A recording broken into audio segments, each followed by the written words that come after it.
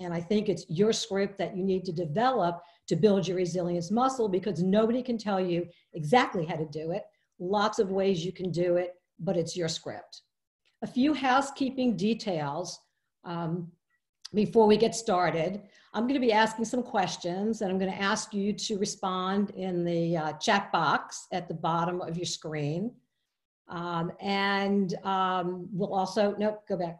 Uh, we'll also um, be asking for questions and answers when Maria's done to either of us. And please enter your questions in the chat box.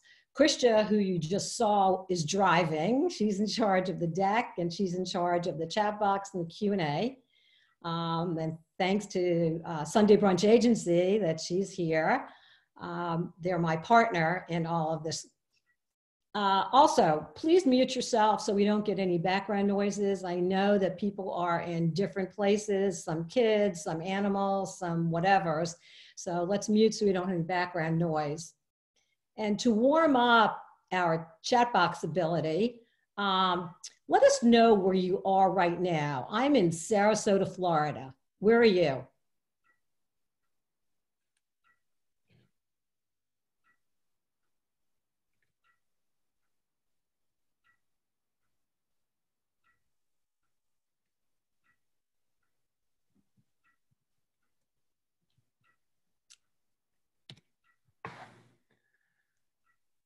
Anchorage, Alaska. Wow, Sarasota, lots of Sarasotas. We got West Coast. Anywhere in between? All right, well, that's a good spread across the country. And again, thanks for choosing to, to join us. So this session is in two parts. One is to answer some very basic questions about resilience. Um, we can flip to our, our next screen. Um, we'll be talking about what is resilience. That word's been thrown around a lot, especially lately. So, what is it? Why do we need it, especially now? Um, what are the ways to measure resilience? And we're not talking about if you used to SMART measures, the um, specific, you know, measurable, achievable, realistic, time-bound kind of measures. They're much more qualitative measures, but you can measure your resilience. Um, and then how do you develop resilience? How do you build that muscle? And we're going to be talking about both things to do right now and things to develop. And then we're going to turn it over to a very resilient woman, uh, Major General retired Maria Britt. And I will introduce more about her later as we've known each other for over 20 years. And it was a very interesting meeting. And um, I was really proud to see her develop from a major to a uh, major general, which for those of you who count stars, those are two stars. So let me ask you in your chat box, when you hear the word resilience, what word do you associate with it? What one word do you associate with the word resilience? For those of you that like time, 10 seconds.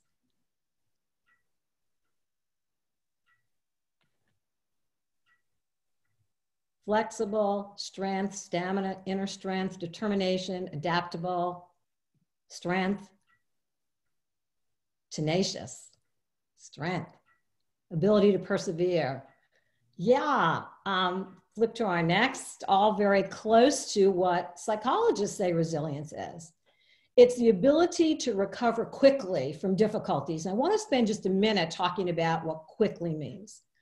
Um, there is no universal quickly for everybody. If you were in one of the last Zoom sessions, I talked about Elisabeth Kubler-Ross's grieving, stages of grieving. And we all move through those very differently. And I talked about it specific to the pandemic that the first stage, you know, we were all kind of confused about what this virus was, but it was it was over there. So we weren't really concerned about it. We were just confused. And then the next stage is a lot of us got angry because wait a minute, it was over there. How did it how did it come here? How did we let it come here and spread the way it did? So we had a lot of anger pent up. And then we moved into somewhere on the continuum from sad to depressed. And it was, why is my life changing so much? Why did we have to let this happen? This is really sad. I can't be in person with my friends or family. I'm in my home. Um, I'm locked down, or whatever you call that that stage, quarantine, lockdown, duck and cover, I, I, you know, whatever it was. Um, we were really sad and depressed about it. And then we moved on to uh, bargaining. Okay, this is real. So, what do I have to do to move on?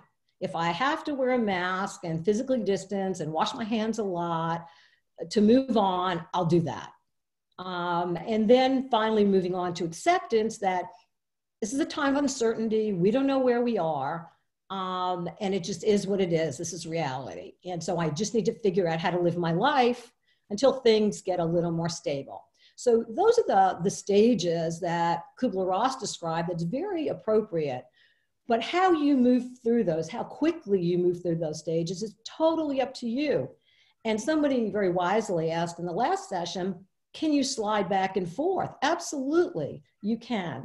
So just the way recovering quickly from difficulties um, is, is a part of resilience, your resilience and your quickly is totally universally up to you. But it's the ability to cope mentally and emotionally with crisis. So you're protecting yourself from unhealthy stressors. We all know there's three kinds of stress. There's eustress, which is a good kind of stress that happens with a good event, um, getting a promotion, moving into a new house, getting married, having a baby. All those things are stressful, good stress, but they're also time limited. So when that event is over, usually the stress goes away. And then there's the everyday stress. We, we can't help it. It just exists, whether it's driving in traffic when we're late and we're white knuckled on the steering wheel, whether it's standing six feet away from the person in front of us when there's a long line and we, we just really want to get out of there. Those are everyday stressors. And it's not so much the stressor because we can't get away from it, it's how we cope with it. And the last stress is distress. And that's the stress that causes ill health. And that's what we protect ourselves against if we have built a resilience muscle. The good news is, is we're not born with a certain amount of resilience. Um, it is something that can be learned. It's characteristics, its qualities, its skills. It's a muscle that can be built just like any other muscle. And keep in mind that one of the ways that kids learn is by watching their parents, their grandparents, um, their teachers, their role models, how we react to what's going on helps them build or not build their resilience muscle. And maybe it's the same way in our growing up, what we saw is whether we early on built a resilience muscle or not. Um, I'm going to be talking about research all throughout um, my presentation to you, and I'm not going to geek out and tell you the name of the research and who did it and all that stuff. I'll just say research has said, and you can obviously find the research um, clearly on the internet. There's so much being written about resilience, both books and papers and um, webinars. But a couple of the um, clear patterns of resilient people Number one, they ask for help. That kind of seems counterintuitive when you talk about resilience as strength and perseverance, and it makes you think of, you know, all capable. But, you know, let me tell you, if you haven't heard my story, I'm just going to give you the top line. Um, I was one of these high capacity, red cape wearing superwomen who thought I can juggle any ball that was thrown at me. And when I was in my late 30s, I was working full time. I was in my doctoral program. I was married. I was uh, raising two young sons. And one week, my housekeeper quit, and I thought, well, I'll just throw that ball in with the rest of them and keep them up in the air. And it worked well for a while. So one Monday, I woke up with chest pains. And um, I thought, of course, I have chest pains. It's stress. Well, they didn't go away by Friday. And I went to the doctor, and he called me in his office after doing an EKG. And he said, I'm so sorry to tell you this, Jane, but you've had a heart attack. Well, that turned my world upside down. And I realized I needed to ask for help because my first thought was, why didn't my husband help me? Well, I found out he's not a mind reader. He didn't know that I needed help. I needed to ask for it. And that was a real awakening for someone who considered herself to be a high capacity woman. So resilient people ask for help. Resilient people can articulate their emotions, their worries, their fears, their sadness. It's a way of venting to be able to move on. Again, might seem counterintuitive to what we call resilience, but it's true. And they actually cope with stress because they ask for help, because they can vent, communicate, and articulate. Okay, so I think your responses were pretty in line with, um, with what psychologists talk about resilience. So let's talk about why we need resilience. Particularly, we need resilience in times of uncertainty. Um, and certainly now is a time of uncertainty. People like to know what they know, they like to do what they know. And when they're in situations where there's a lot of uncertainty, they feel very, very uncomfortable. Um, and, and so we need that resilience to say we might not be doing things the way we always have been doing it, and we might not have all the information, but we'll get through this. I'll get through this. And right now, we need resilience. Some of us are lost. We're lost for different reasons. Some of us have lost jobs. Some of us have um, been furloughed. Some of us have lost people we love. Um, and we feel overwhelmed because it's a whole different world right now. And some of us simply need a recharge. We're pretty resilient, but we need a recharge because everybody needs emotional support, and that's what comes from being resilient. Okay, so now we're talking about um, how do you measure resilience? Remember, they're not smart objectives the way we're used to. Um, but number one, it's the amount of support systems we have. And those support systems come from family, they come from friends, they come from colleagues, particularly with family and friends. Um, they're the people that we can call at two in the morning with a problem and they won't hang up on us.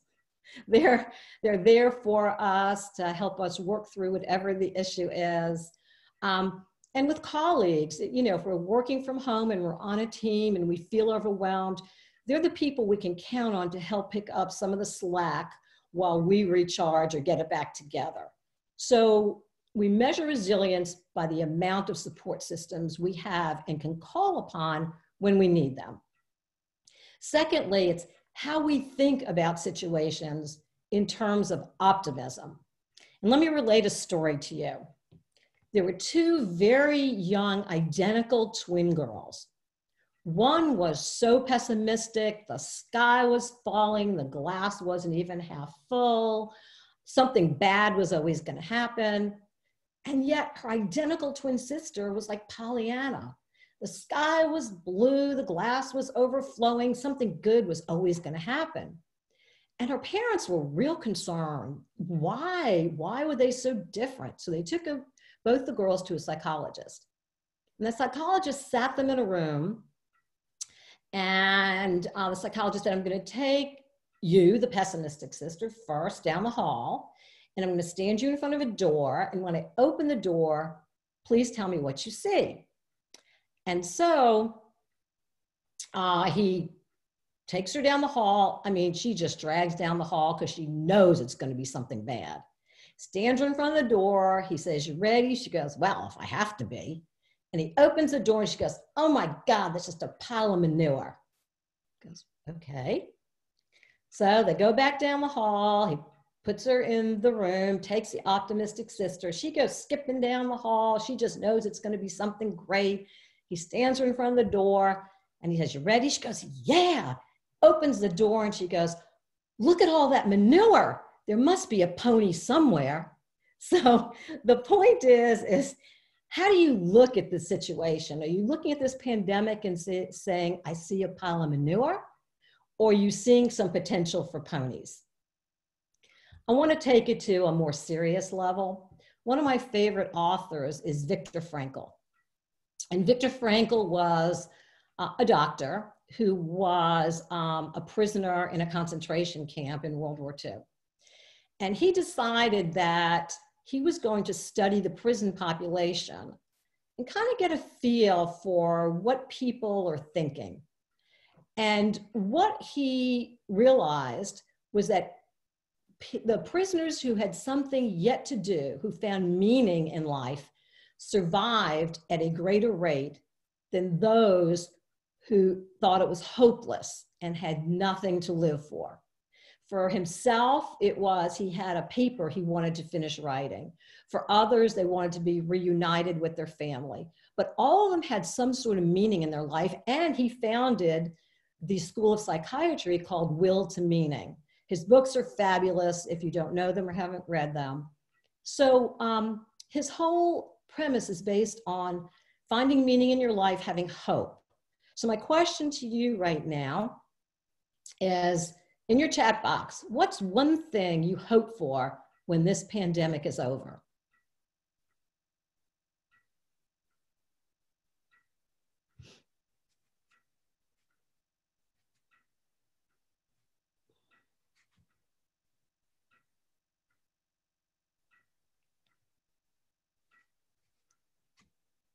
Do we have an optimistic crew out there? Self discovery, sharing time with family and friends. I missed a couple. Smoother work processes, stability, travel and time with family. Amen. travel, but also prolonged. I can't see the rest of it. Travel, a lot of travelers, hug people. Yeah. So, um, sounds like a hopeful group, and that's part of being resilient is having something to hope for, to look forward to, to find meaning to get beyond where we are right now. And the last part of how to measure your, resist, your resilience um, is a biological one. It's how well do you calm and soothe yourself? So instead of going from zero to 60, being able to go from 60 to zero. Can you do that quickly? And one of the things that I've taught my coaching clients to do before they go into a performance appraisal is to do deep breathing. Because when you do those eight breaths in, hold for four, eight breaths out, you physically cannot be stressed. You are calming your nervous system down. So it's finding ways to actually biologically calm and soothe ourselves makes us much more resilient. So, how do we develop this thing called resilience? And we're going to talk about some strategies right now and some strategies to develop if you haven't already.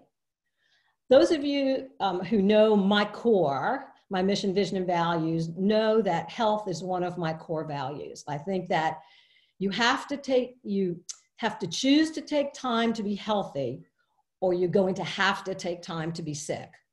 And I would rather choose to take time to be healthy. And so it's really important that we, and I don't, I don't really like the word diet, but be more mindful of how we eat. I know when I get stressed, I reach for those unhe- unhealthy carbs like potato chips. And that's really a no no. That really drags you down. Um, so it's being mindful of what you're eating so that you don't get into that carb slump.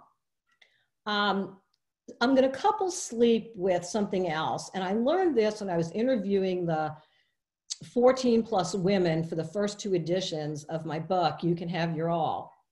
And these were high performing, high capacity women. And two things happened to them when they got overwhelmed. One was they sacrificed me time. It was my time to shut down and regenerate my systems. It could be a bubble bath. It could be reading, you know, an escape book. It could be having a glass of wine. When they just got overwhelmed with everything, the first thing that went was me time. When that didn't work enough, the next thing that went is sleep. And they cut back on their sleep. And that's an extremely unhealthy way to cope with being overwhelmed because you wake up the next day and you're not at full capacity you're tired and you know when you, you know when you haven't had enough sleep and you know experts say seven to eight hours well that's not everybody and that's not always possible but if you wake up in the morning after a few hours and you're dragging you haven't had enough sleep so those three things are about prioritizing your health that you can do right now Getting support is really critical. It's about communicating with family and friends and colleagues. You can't hug them right now, but you can communicate. I venture to say that a lot more is happening with family and friends and, and of course colleagues on Zoom, on FaceTime, um, probably for me more than ever, um, because I can't be there in person. And in fact, this was really an upside of, of the pandemic. Uh, when it back in March, when I wasn't going anywhere, uh, and I needed to color my hair, um, I'm not naturally just blonde. Uh, I uh, went online to look for a color company that I could buy from. And when I went to put my name in, one of my college roommates' names popped up, and I hadn't talked to her in 20 years. I called her, and we were just so excited to catch up, to exchange photos of families, and to say, what happened? What, what happened 20 years ago that we stopped talking? So now we're reconnected. And it's always wonderful to talk to people from your past because you can almost talk shorthand. They were there at that point in your life, and you don't need to explain a lot of things. Um, the other we talked about before ask for help. The next one is support yourself. And this again came from another interview from the book. It was a woman who was a vice president um, of a large company, and um, she always beat herself up over every mistake she made. And finally, her boss said to her, Would you please take a powder and just relax and not be so hard on yourself? Acknowledge that you made the mistake, learn from it, and move on. He said, There is no reason to be so hard on yourself. And I think some, some of us are, are so hard on yourself, and I'll raise my hand, I'm there. Um, we're very hard on ourselves when we make mistakes or we can't get everything done in a day that we plan to get done. Um, so sometimes good is good enough. It doesn't have to be perfect. And, and I learned that from another interview. And this woman is um, general counsel for a very large company. And she said, and this is a lawyer, she said, when I know something is right and it's 80% good, I go with it. The next 20%, I try and make it more and more perfect, is a waste of my time. And we need to be thinking about that in all parts of our life, that sometimes good is just good enough. Um, the other thing is, we have a lot of tapes in our head from growing up. Um, I know I have a lot of shoulds. I've tried to get better at controlling my shoulds, and I know my husband would be laughing if he heard this because if he thinks this is better, he can't imagine me before I was better. um, and and it's it's really thinking about the tapes in your head and what's rolling there that it's a should that you don't need to pay attention to anymore. It's about what do you want? What do you need? What do you wish for? Those are the things that really nourish and, and support you. So, and if nothing else works, my father in law used to say, and this too shall pass. So that's a kind of a quick way to get over it and move on because it will pass even where we are now, it will pass. And the last thing has to do with positive affirmations. And I know you can find a lot of those online. On Mondays, I do quotes for Monday motivation to get everybody's week started. But there are also other things. Um, and one of the things that I do is I read books about resilient women. And on my blog, on my website, I have a post called Resilience and it lists the books that I've read about resilient women. It just so feeds me that there are women out there that I can admire that have been through way worse than I have and, and are so resilient.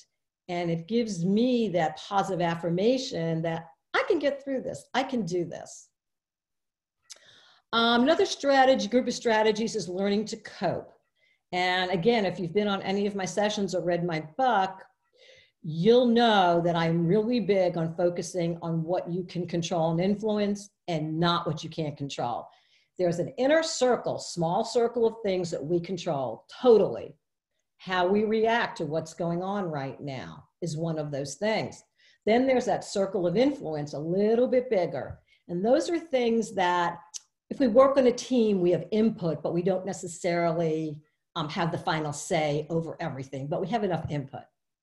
And those two spaces, the control much, much greater of your time, influence some, some of your time.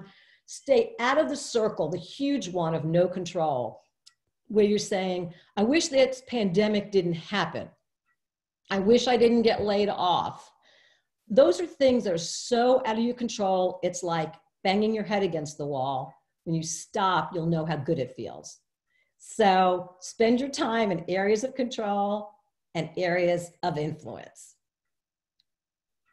Deep breathing, I mentioned. Meditation is fabulous. There's so much research on how it actually positively affects your brain and slows down your nervous system, your blood pressure. It's so good for you. And you know what? You can start with one minute of meditation, and that's fine, and keep building up. You don't have to be, you know, the Buddha on the mountain for an hour. Just start slowly.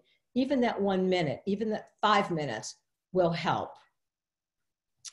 Pay more attention to positive things as opposed to the negative things which we tend to escalate and catastrophize we need to focus on the positive side, believe it or not, of this pandemic. So I'll start. One of the positive things of this pandemic was I got to clean out my closets. And I could take the clothes that I'm not wearing anymore that are in good shape and take them to the Women's Resource Center, whose board I sit on, that has a career closet that other women who can't afford clothes can go and get clothes. So, in your chat box, what's one positive of this pandemic for you?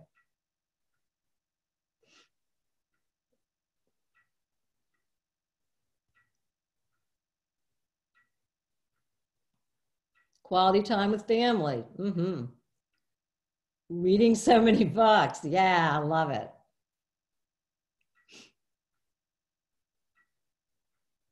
Now you can think of positive things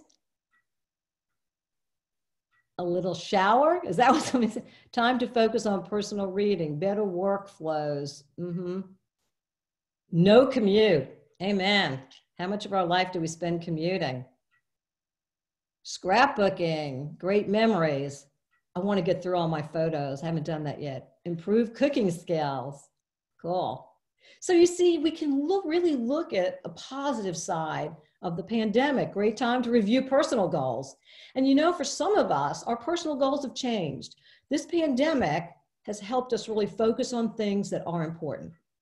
You know, for a lot of people, it's basic survival and safety skills that are what's really important right now, and everything else is icing on the cake. And it causes us to um, to really better focus our, our needs, wants, and wishes so um, yes, thank you for all those responses. I want us to feel good that there is a, a positive side to this pandemic. Um, and focus on what you can do. That is another mantra that I say every day. I'm going to focus on what I can do rather than what I can't do. Because if I focus on what I can't do, I'm going to get very sad and depressed again. So focus on the things that I can do. And everybody, I don't care what side of the aisle you're on, take a day off from the news. it, it just gets so overwhelming. And I've just chosen Saturdays. I do not read my feed. I do not turn on the television. I do not listen to any news. All right, let's move on then. So here are some things to develop if you haven't done that already that might not come quite as easily. One thing is to give support. And this is a really interesting one. Uh, if you're familiar with Martin Seligman, who's the father of positive psychology, he moved from simple happiness to well being. And one of his elements of well being is finding meaning. And finding meaning in his world is getting outside yourself um, to help others. And sociologists say that that's the element of well being that provides the most well being. So it's finding some charity um, if you can donate to donate to. I have friends who uh, deliver meals on wheels, and it's simply delivering the bags, knocking on the door saying meals on wheels, and leaving. They're not interacting with the folks. but it's finding something that you get outside yourself to do good for somebody else or some group in the community. Work mindfully, and this took me a while to do because I'm a very structured, scheduled person, and I was used to um, going out there to coach clients, to do presentations, to do book signings, and all of a sudden I was home and I couldn't do all those things. And so I had to learn to structure and schedule my day at home for the most part for, for a while.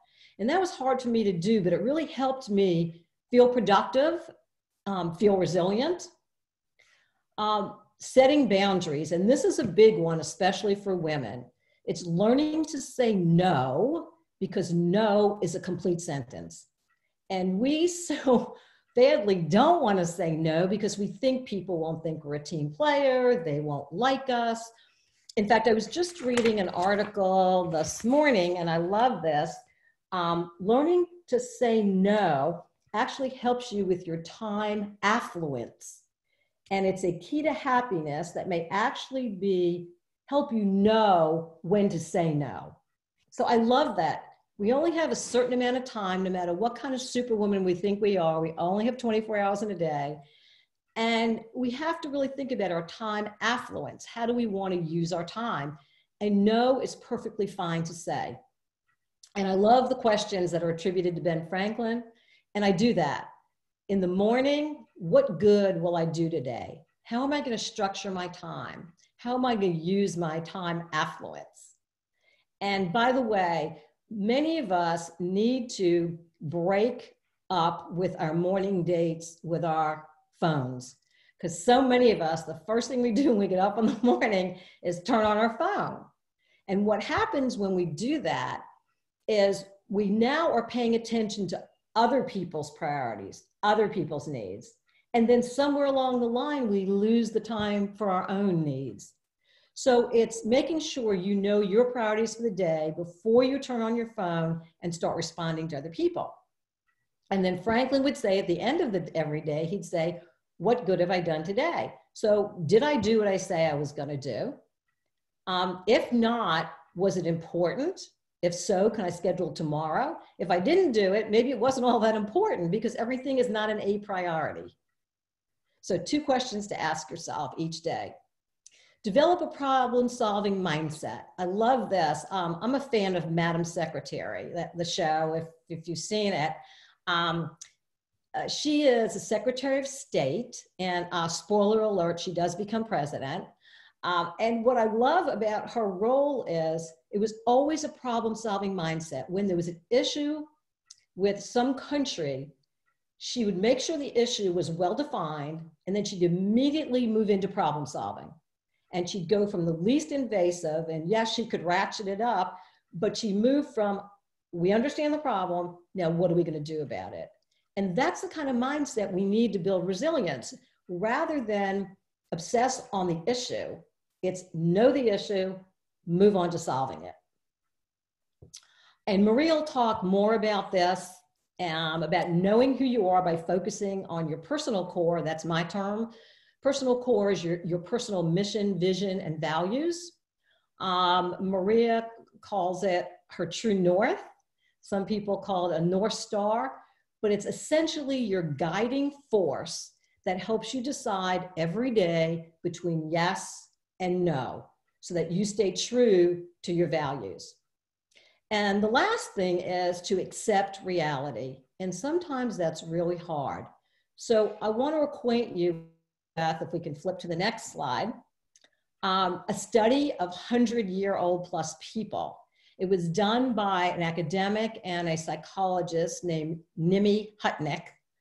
Um, and she's been in this field, for, resilience field, for 30 years. And from this study, here's what she found. She found that these people accepted what they could not change. These people lived through World War I, World War II, the depression, and yet they just said, that's reality. And they were like the bamboo tree. They would just had the flexibility to, to change with the winds, to change with the time, to accept the reality. And the way they did this was they found meaning in their lives and they stayed engaged. So even though they're 100 and plus years old, one man is the president of his bowling club. Another woman still swims her laps. And yet a third cleaned homes for a living. And at 100, she still does it because that's what kept these people engaged and provided meaning. So I want to take you to a much younger, resilient person um, that is uh, General retired Maria Britt. And I have to give her an intro because I am so proud to have been her friend and colleague for over 20 years. Maria and I met when um, I was the consultant doing a several year project with the Georgia Department of Defense, uh, probably more popularly known as the Georgia National Guard or the Georgia Guard. And part of what I did in that multi year project was to facilitate the leadership team. And Maria at that time was a major, not on the team, because most of these uh, folks on the team were colonels. And um, the leader of the team knew that Maria had tremendous potential. So he invited her to sit in on the leadership team, which is a great way to develop people. And that started Maria in my friendship and collegial relationship. And I watched her grow from that major to a major general, a two star, and deserving every step of the way, facing many professional obstacles, but also personal obstacles. And, um, you know, it's interesting. I, I helped that organization develop a performance appraisal system. And the bottom line for people in the military is would I follow that leader into battle? And I would say that the people um, under Maria's command would resoundingly say yes. So I'm going to turn this over to Maria, and I've got a couple of questions for her, and I'm going to let her fly because she's got some great stories of resilience, and she is one of my most resilient people that I know. So, Maria, you there? I'm here. Okay, hi. Hi. Um, in your book, you explain the importance of having guiding principles for everyday life. Mm-hmm. It's really your personal leadership philosophy that you use in all parts of your life. And you have five principles, but there are a couple that are especially really important to build your resilience muscle and that helped you build your resilience muscle. Um, can you talk about that, please? Sure, I'd be glad to. Um, let me just go through the five principles so everybody knows what they are. But this is my personal leadership philosophy that I've created over the last 35 years. So the first one is the warrior ethos. I will always place the mission first. I will never quit. I will never accept defeat, and I will never leave behind a fallen comrade. So that, that's the first principle. The second one is the golden rule. I will treat others the way I expect to be treated, and that includes leading. And then the third one is to give back. To me, it's always greater to give than to receive. And, and Jane touched on that some in, in the lecture. And I'll come back to that. The fourth one is to find peace through an integration of mind, body, and soul. Again, something that Jane has touched on.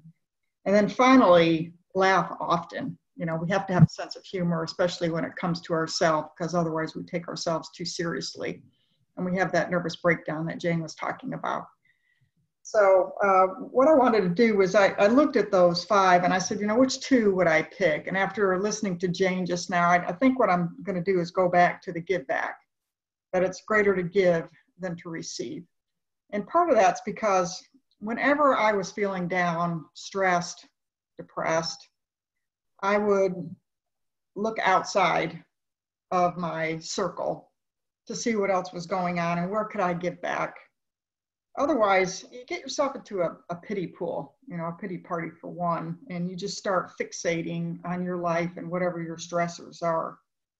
And so i, I realized when I, I gave back that i actually felt satisfaction i felt happiness and then i also felt compassion and empathy for the people around me that were actually suffering more than whatever my situation was putting me through so, uh, and another phrase I like to use is paying it forward. I have had people that have helped me, and so I want to pay it forward. I want to help others whether they be uh, veterans that I visit in nursing homes uh, or hospice care. I signed up for that shortly after I I left uh, Kennesaw State University as a way to, uh, to uplift myself, to be with others, to give back. And I, I met an incredible World War II veteran. He served under General Patton. And I came in and he just, you know, I got down on a knee and I held his hand. He just couldn't wait to share with me his stories of General Patton. And his son was there with him and wrote me a beautiful thank you note afterwards that, you know, you brought my dad back just for a few minutes there to, to talk about his wartime experience. And and I left there so uplifted. You know, I was able to give back, to share, and just be present. Sometimes just being present is enough. And it, it makes me think of one of my favorite quotes from Winston Churchill that I, I've used often, and that's that we make a living by what we get, but we make a life by what we give. Well, think about that. You know, are, are we making a life? Are we focusing on what we're giving versus just building wealth or prestige or you know job progression you want to give you want to leave a legacy and to me whenever i gave back it was greater than receiving and it uplifted me so it became part of my resilience model to flex my muscle in that way the second uh, principle that I, I, think is important as well and before I, I, get to that which is laugh often I, I just wanted to reinforce what jane said about health I use the term, you know, to be healthy is the best return on investment that you're going to have. So you, you can't afford to be sick. So put the time in to be healthy. And that's getting enough sleep, that's taking vitamins, that's exercising, that's eating nutritiously, and watching your weight. I always feel better when I'm on the lower side of my, my normal weight range uh, than when I'm on the, the upper end because you've got to carry that extra five pounds of sugar around with you and, and it's tiring. So let it go. So think about it in business terms. It's a return on investment to stay healthy. And then uh, another strategy I used for the, the finding peace, the integration of mind, body, and soul is to, to turn lemons into lemonade. I know it sounds trite, but while I was receiving counseling after one of those early life nervous breakdowns, my counselor told me, you know, take the lemons and make lemonade every time something makes you smile or something lifts your heart, write it down on a little slip of paper and put it in a basket somewhere or put it next to your desk. And then at the end of the week, gather up all those little slips of paper and go back and read what you wrote. And after the first week, I was just like, wow, this is amazing. It's little stuff. You know, it's the hummingbird that came to the feeder. It's the plant that grew through the crack in the sidewalk. It was my daughter smiling at me with no center teeth in her mouth. Um, it, it just, it was amazing the little things that I was missing, but by writing them down, I was able to use that to uplift myself once again. And then as far as the mindset, the positive mindset, what I work toward is having an attitude of gratitude, being thankful for what I do have, not wishing for other things that I can't have. So for example, just putting my feet on the floor every morning. Yes, I eventually reach for my phone, but I put my feet on the floor first and I say a little prayer to my God, thanking Him for another day to make a difference. And I just say a little prayer. And, and part of that prayer, and, and again, Jane had touched on this, but it's called the Serenity Prayer. And that's the name for it if you want to Google it. But I ask God to give me the strength to accept things I cannot change. Give me the serenity to accept the things I cannot change, courage to change the things I can, and wisdom to know the difference. So, serenity, courage, and wisdom. Quick prayer in the morning just to get you grounded. And it's not easy. I'll tell you, I'm one of those perfectionists that Jane talks about and I'm a, a, tough critic on myself, but you have to forgive yourself. And until you do, you will keep carrying that weight around with you. So learn from it, grow, but forgive yourself and move on. Can I ask you the second? Can I ask you the second question? Because I think this is really okay. Sure. amazing stories. You know, we've been friends and colleagues, like I've told everyone, for over 20 years. It's hard to believe um, that I met you when you were pregnant with your third daughter, and now she graduated college, which yikes. Um, So I'm familiar, I'm familiar with your struggles. I've, i felt your pain. We've talked about it over time. Would you mind sharing a few of those struggles personally and professionally with everybody? And what are the strategies that you use to become resilient to survive and thrive? Okay. Well, I, and I do have a lot of stories. That's why I had to write a book. But I, I think I'll give you a couple of my early on stories. And, and the first one, I, I went to the United States Military Academy at West Point. I was in the fourth class of women to go to West Point back in uh, 1979. And it was tough. We were not accepted at the academy. They were just switching over the latrines, uh, male to female latrines. The cadre was. Uh, um, not totally cooperative, although we had a good superintendent. And along my, my path, I, my plebe year was difficult, but my third year, we were selected to go to different schools, and I was picked to go to the Jungle Warfare School in Panama. Not Panama City Beach, but Panama. I'm talking to my younger crowds, I have to distinguish that it was Panama. There is a country. And um, what I didn't know is that my roommate and I would be the first women to go through this course. And it was run by Marines. And as soon as we got there, we knew right away it, it was a pretty hostile environment from the cadre. We got through the training pretty quickly. Yes, I had leeches on me from the rivers that we had to go through. I had uh, jungle rot on my foot. And they wanted to, boot me out for a blister and a, a fungus infection, but others had that as well. I said, no, I'm just going to gut it out Well, we did so well the last um, couple of days were open. So the cadre came up with a, an operation called helicasting, where you jump out of a perfectly good Chinook helicopter. That's the helicopter that has the double blades and then the back gate just opens up and they drop out Jeeps and different cargo, except this time they were dropping us out. And when you land, you have to land with your, your M16 above your head uh, locked and you're in full gear you're jumping a couple hundred feet from the back of the Chinook into a, the Bay of Panama, and then you're swimming to an RB-15, a rubber boat for 15, and then assaulting the shore. So I figured no problem. Well, when I jumped out of the, the helicopter, my arms weren't exactly where they should have been locked, and my weapon came down on the bridge of my nose and ended up breaking my nose in two places. And uh, the motorboat was flagged down. The Marines dragged me into the boat. They didn't have any first aid equipment or rags, so they used the dirty rags they had in the boat to sop up the blood. Head wounds are very bloody. Uh, a couple minutes later, I heard more commotion. Someone else, one of my male classmates, had done the same thing, but his weapon came down on his upper lip and he cut off his lip and knocked out his two front teeth with his weapon. So he's hauled into the boat. Well, long story short, we've got two days left, and I'm continuously avoiding the cadre taking pictures of me. I was covering my face. My classmates were trying to help me. But on the last day, the last meal, I was carrying a tray the, to the conveyor belt. I couldn't cover my face and a, a photo got snapped. And you know, when you have a broken nose, your eyes swell up, you're all black. I call it my zombie look-alike. I, I really, mm-hmm. my face was just a swollen pus pot. It was really grotesque. And here a picture was just taken of me well, we left. In fact, my the guys that I were with said, "Hey, do you want us to go after him and grab the camera?" And I said, "No, no, no. You know, my mom always taught me when you wrestle with a pig, you're both going to get muddy." I said, "So let it go. We're out of here in a few hours. Not worth it." Well, several months later, my roommate happened to be dating a cadet who graduated, went to Ranger School, and was assigned to Jungle Warfare School. And he went into the cadre lounge, and in the, on the bulletin board, he saw my picture the picture that had been taken of me. And under the picture, there was a caption that said, This is what happens when women come here. Well, when the word got back to me, I was I was devastated. I was embarrassed. I was humiliated. I, I was angry.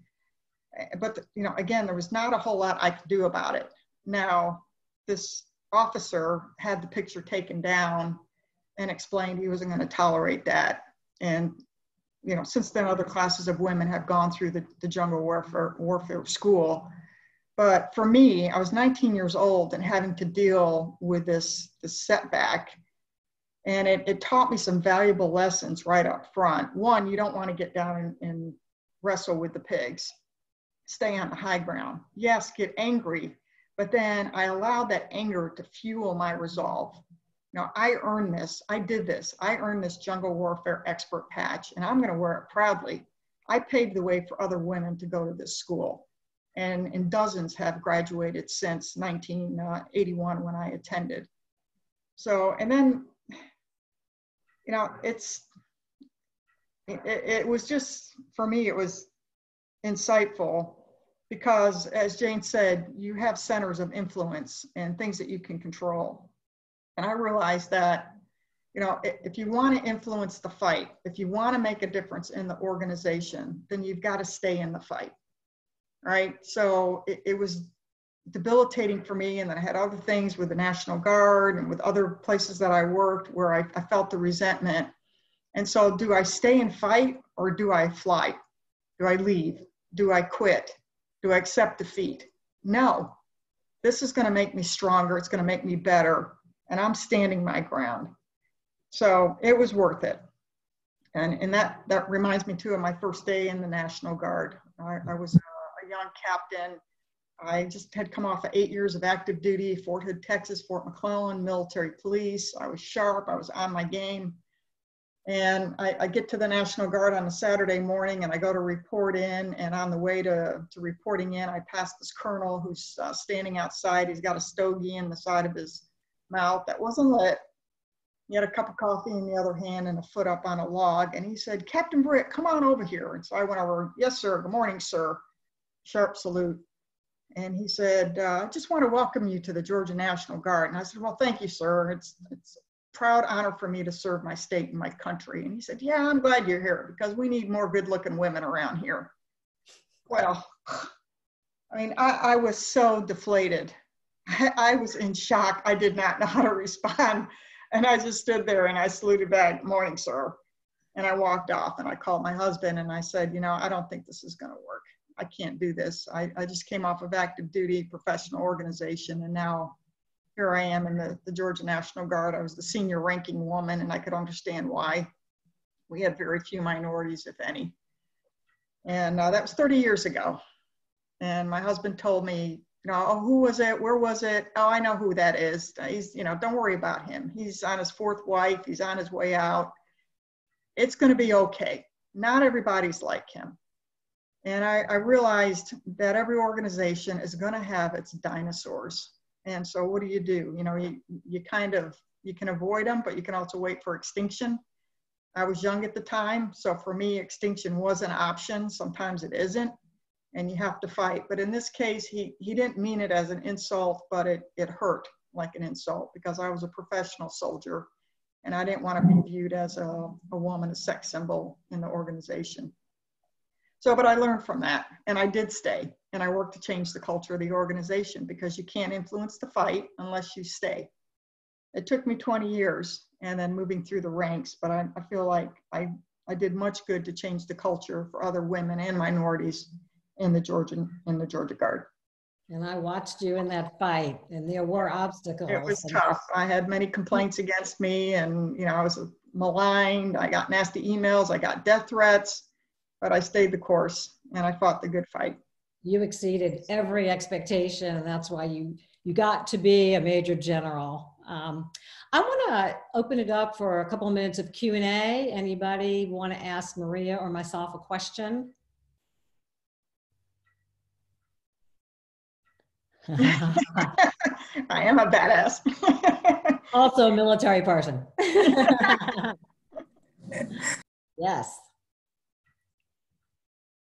Anybody? Questions? Floor is open. Give you about 10 seconds to think about it before we wrap up. I have one more point too if you don't get any more questions. Okay, well, shoot, go ahead. All right. Well, and, and one more thing about being resilient, you need a plan B. And what I, I call it plan B, but more appropriately, it's an exit strategy, right? You, you need to know when it's time to leave an organization. And this one really caught me off guard because I, I didn't realize that my 20 years with the Georgia Guard was coming to an end. And the higher you move in an organization, the more political it becomes. And um, I had not done a good job of networking. and letting people know who I was. And, and it's so important for people to know who you are. And I had some business cards, but I really didn't have a plan B. I didn't have an exit strategy, and it, it hit me cold and it hit me hard. So think about that and, and build networks outside of your current job. And don't, and don't let your ego get attached to your job either, because then that'll bring you down faster than anything. And you know, that um, plan B and exit strategy also uh, relates to personal relationships, um, whether they be, you know, significant others or, or friends. Sometimes plan B is, is the best plan, especially um, in terms of resilience. If you're around people who drag you down, they're going to undo what you've done to build your resilience muscle. And it's better to use plan B and start building it back up than to continue to be dragged down. Okay, so Maria, there's so many more stories you have and so many more lessons, which um, we're going to send out a real brief survey to help us focus our December 9th Zoom session. And when you return the survey, I'll send you this deck and it'll have information about Maria, her book, my book, ways to continue to engage with me if you choose to, about the online course, about coaching, um, social media. So I'll, I'll be glad to send you the deck when you send the survey back. But as a way to wrap up, um, let's get to some final thoughts. Christian, if we can get there.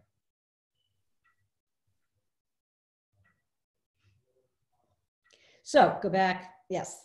So one of the books that I've read, uh, it's by Atul Gawande. It's called Being Mortal.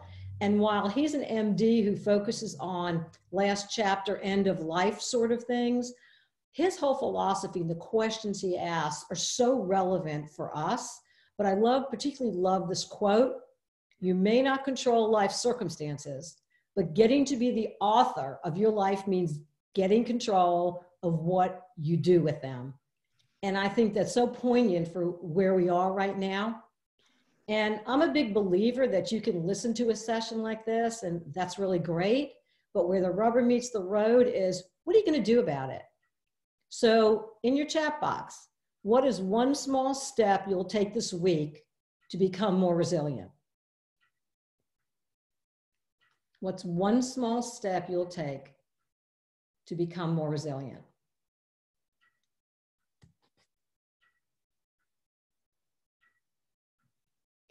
Get in the habit of saying serenity. I will try to breathe, not to be hard on myself. Learn to say no. Yes.